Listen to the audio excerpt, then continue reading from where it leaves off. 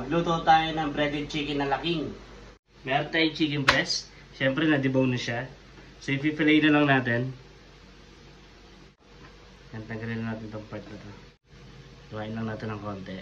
Yan, hiwain lang natin pa ganyan. Then, open natin.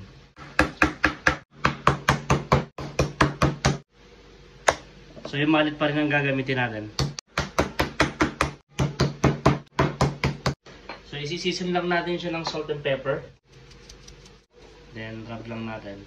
Yan, well seasoned dapat yung ating chicken breast at pantay yung paglagay natin ng salt. Yung black pepper naman. So, i-rub lang din natin.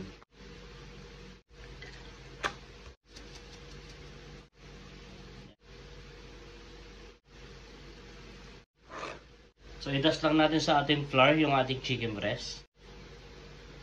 I-dip lang natin sa ating egg wash.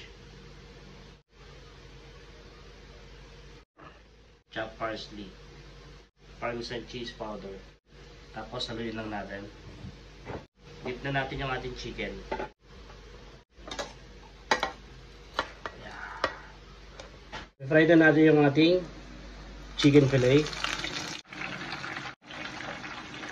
Set aside muna natin yung ating chicken.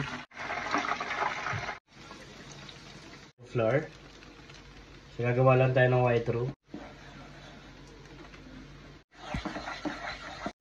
So, yung kalahati iniwan natin. Maglalagay lang tayo ng evap milk. Evaporated o pwede rin fresh milk. Add na natin yung ating all-purpose cream. Set aside muna natin yung ating white sauce.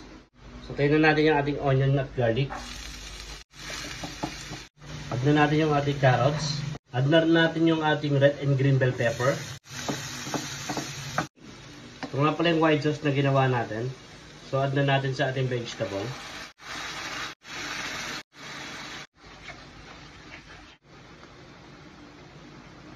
Toppings na natin yung ating sauce.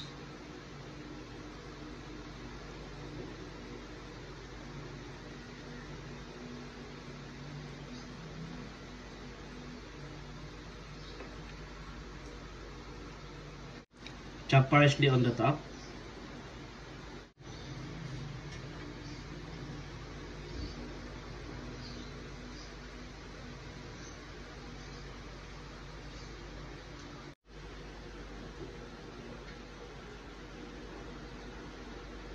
First bite.